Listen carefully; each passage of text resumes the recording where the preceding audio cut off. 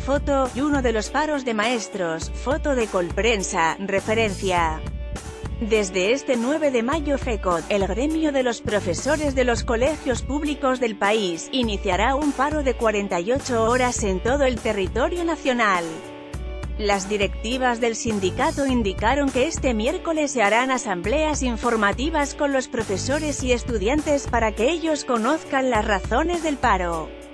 De esta manera, les expondrán las actividades sociales que se van a hacer en las principales ciudades del país como marchas y plantones que pretenden exigir al gobierno garantías laborales para los profesores, y de carácter social para los estudiantes, especialmente de municipios apartados.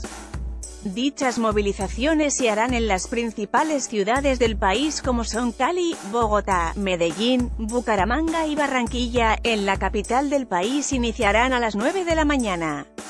Desde el Parque Nacional hasta el Ministerio de Educación. Por su parte, en las otras ciudades se tomarán las decisiones este 9 de mayo porque son autónomos en sus decisiones. El presidente de FECOD, Carlos Rivas, afirmó, necesitamos un diálogo con la ministra de Educación, no como las reunirnos que tenemos que se convirtieron en una tertulia. Así las cosas, este 9 y 10 de mayo no habrá clases en los colegios públicos.